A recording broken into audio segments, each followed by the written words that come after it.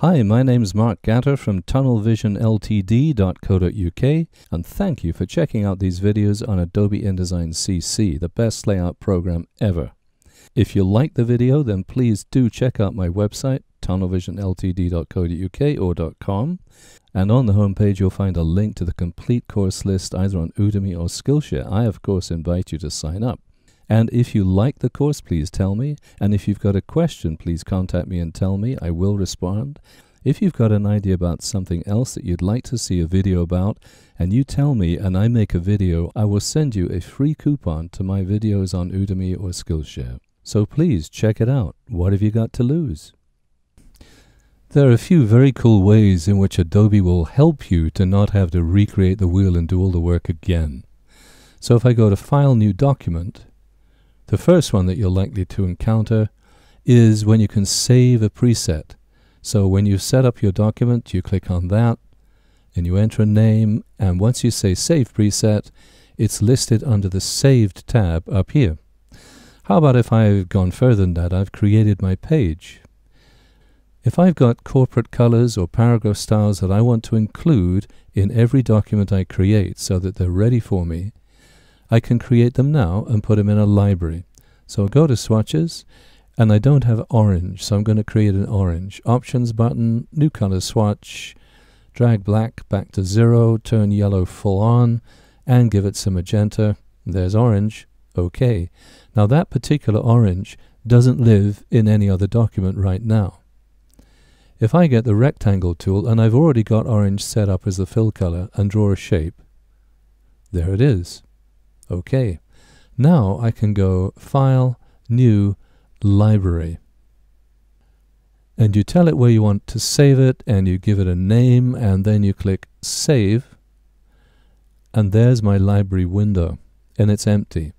But if I drag this object into it, there it is. It's untitled right now. I could double click on that. I could give it a title. I could give it a long description if I wanted.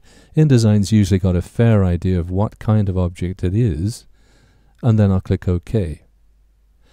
And I'm going to leave the library window open, but I'm going to close this document. So I no longer have that document open. And in this one that was ready and waiting, I don't have that orange color.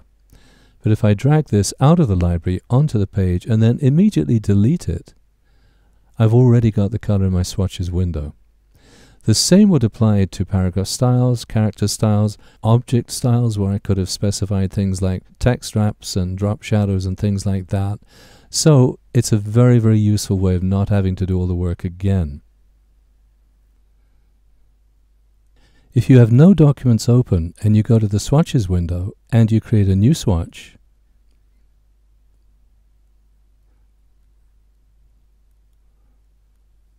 There it is. And now you make a new document. Command N, Control N, and one page, portrait, facing pages, that's fine. I don't really care in this case. Create. There's my swatch already here. And that swatch will be there for every new document I create. So if you've got corporate colors and you want to have them available to you all the time, you don't need to put them in a library, you can put them straight into your swatches window. The same is true of paragraph styles and character styles and object styles as well. And here's another cool tip. If you've got a document that does contain swatches or paragraph styles or whatever that you'd like to include into the current document, you can click on the Options button and then go to Load Swatches and then navigate to the document that they're in and you can load all the colors, paragraph styles, and so on from that document just by doing this. So Adobe really try to help you not have to do all the work again. Now this method of adding all the colors to swatches and paragraph styles and so on doesn't work so well for me because as a freelancer I've got lots of different clients so I've got a library for each of them. If I put all of their swatches into the swatches window that would be really confusing so I have to keep them more separate. But if you're working for a company and they have corporate colors that you need to use, this is the best way to do it. So thanks again for stopping by and I hope that video was really helpful to you. And please do check out my website, www.tunnelvisionltd.co.uk and let me know what you thought. Bye for now.